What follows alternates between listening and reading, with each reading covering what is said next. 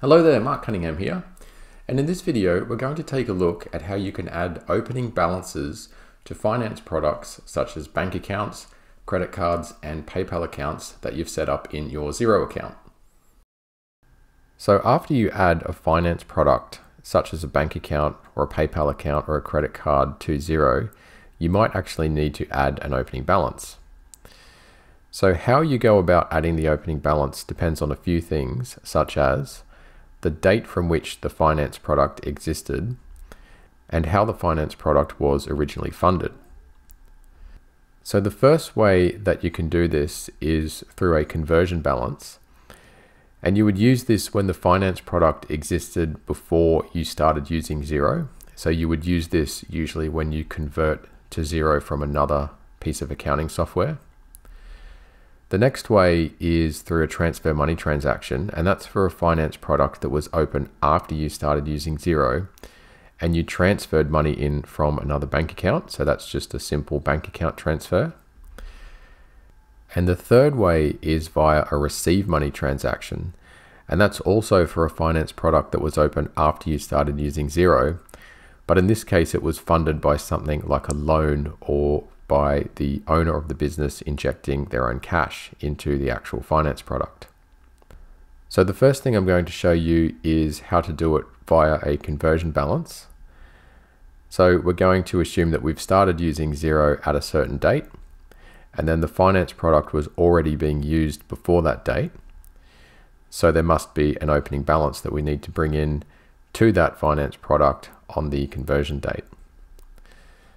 So this is something, like I said before, that you would typically use when you convert to Xero from a different piece of accounting software.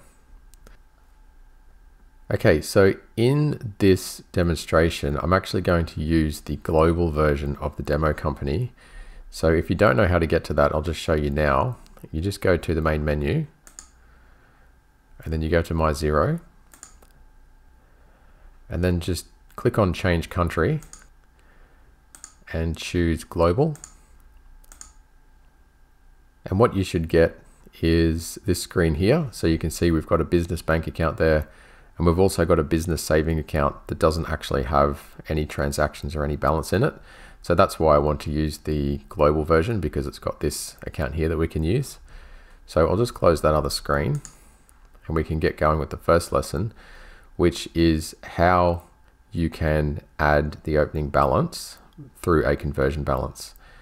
So we're going to assume that this bank account here actually had a balance of $1,000 that we need to bring over when we converted. And as you can see, it doesn't actually have that in there at the moment. So the way to do that is just go to accounting and advanced and then go to conversion balances. And over here, you get a list of all the accounts um, that you can add balances to. And you can see that we don't actually have that account on there at the moment. So you just need to click on this show all accounts. Okay, and there it is there. That's the business saving account. So we're going to add a $1,000 balance into this and it's going to be a debit balance because it's a positive balance in the bank account. If it was overdrawn and it had a negative balance, we would put that in as a credit. And I'll, I'll also just point out that if you need to change your conversion date, or the date at which you want to bring this balance in, you just click on this button here. And then you just go through and pick the month and the year um, that's relevant to you and just have a little read about what date actually becomes your conversion date there. But I'm just going to use what's here already. So we'll just come back, open that up again, and now I'll just put $1,000 in here, like so and then scroll down to the bottom and just click on save. Okay, so now we'll just go back to accounting and bank accounts. Okay, and now we can see down here that this business saving account actually has an opening balance now of $1,000. So that's how you can use your conversion balance there to add the opening balance of a bank account or a PayPal account or any other finance product that you've got that you were using before you actually converted to Xero. Okay, so the next way that you can add opening balances to your finance products is via a transfer money transaction. So you use this when your finance product was opened after you started using Xero. So there was no opening balance for the finance product on the date that you converted to Xero, so you don't use conversion balances. But you might still need an opening balance for this finance product because you actually transferred money from another bank account or another finance product into this new account that you've opened. So if we come back into Xero, I'll just show you how to do that. The first thing we need to do is just get rid of that $1,000 that we've got there. So we'll just go back into advanced and conversion balances. And we'll just make that nil.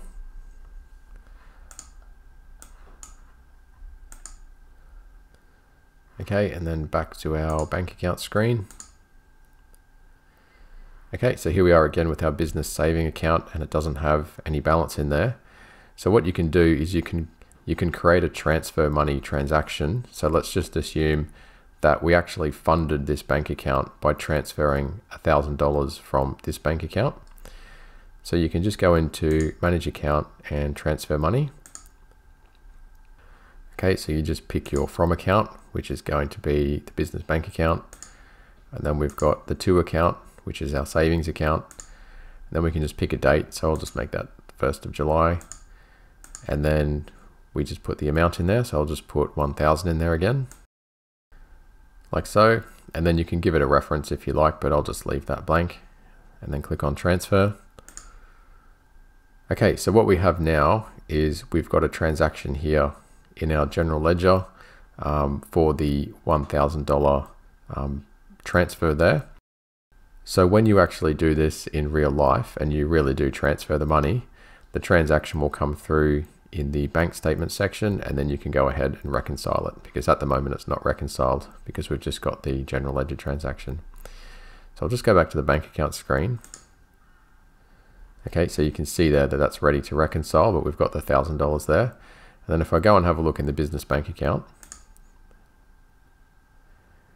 you can see here, this is the other side of it here on the 1st of July for $1,000.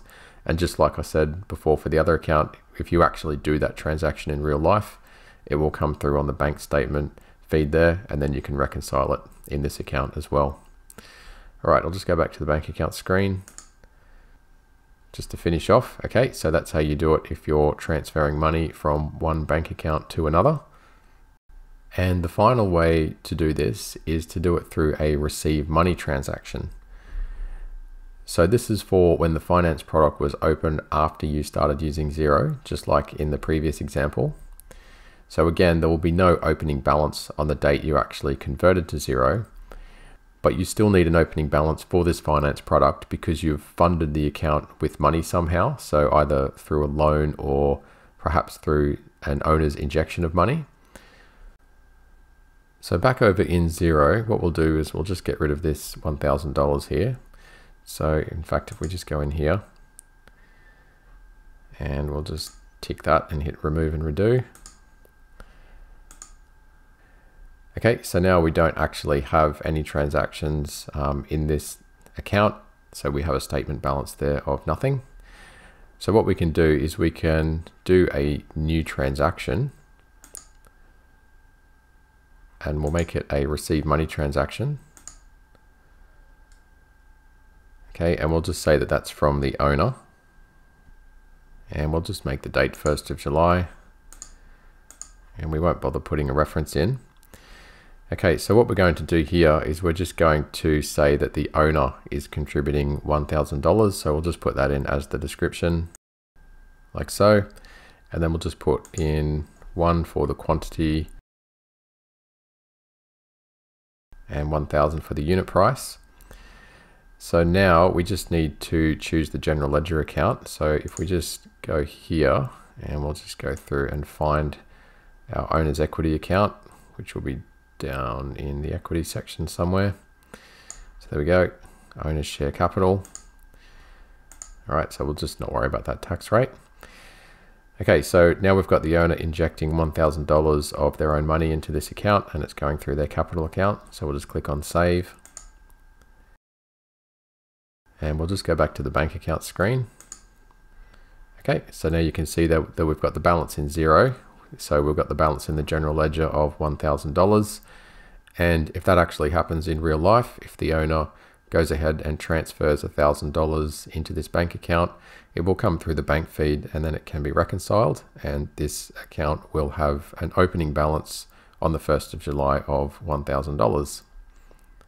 Okay, so that's the three different ways that you can add opening balances to your finance products in Xero, such as bank accounts and PayPal accounts, etc., depending on when you actually open the finance product and how you actually funded them.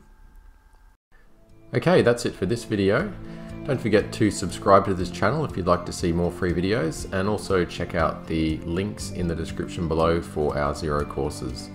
So thanks for watching and I'll see you in the next video.